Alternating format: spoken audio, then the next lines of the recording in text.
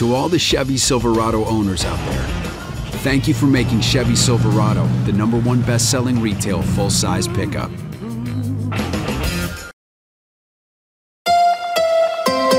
From the Tennessee Valley Weather Channel, this is your weather today.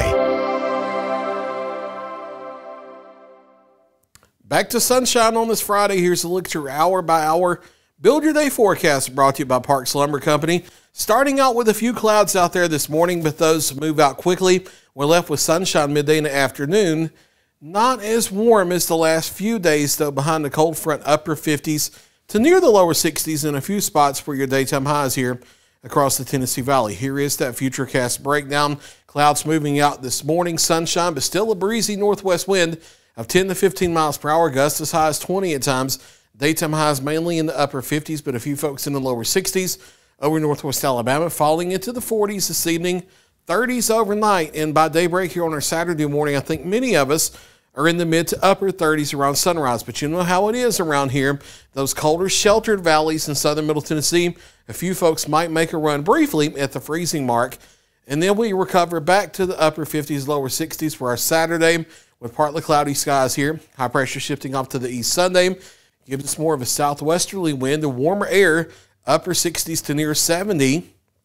And a few showers possible early next week with a stronger south wind and a mix of sun and clouds into the low to mid 70s for the first half of next week. Check this out. Upper 50s to near 60 for today and tomorrow, near 70 Sunday, and then into the low to middle 70s Monday through Wednesday. And then Wednesday, another cold front comes through during the evening and overnight.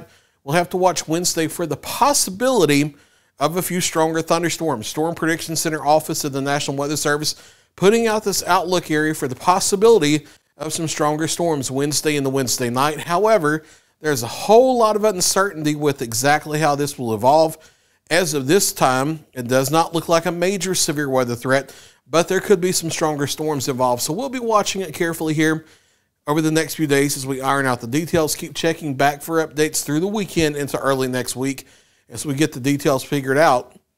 A few strong storms certainly possible, but no reason to panic or anything like that. Just be aware of what's going on. We are in severe weather season, so even if this storm wasn't even on our radar, so to speak, you still need to be aware of what's going on as we deal with this here in the Tennessee Valley this time of year every single year. And this is a way of life. This is nothing unusual by any remote stretch of the imagination. Just have your severe weather plan in place, have ways to hear warnings, and you'll be just fine whatever happens next week.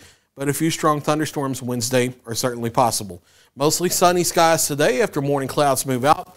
Upper 50s for most of us over southern middle Tennessee. However, a few folks back in the Hardin County could sneak into the lower 60s.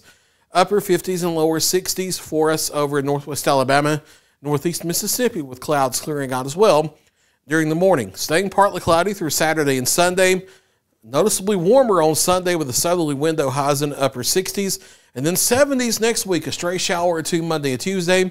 Then we'll watch next Wednesday for the possibility of some stronger thunderstorms and then back to quiet weather toward next Thursday. There's a at latest seven day forecast. Kelli Rosson is in the Weather Center live at noon with another check of your local weather.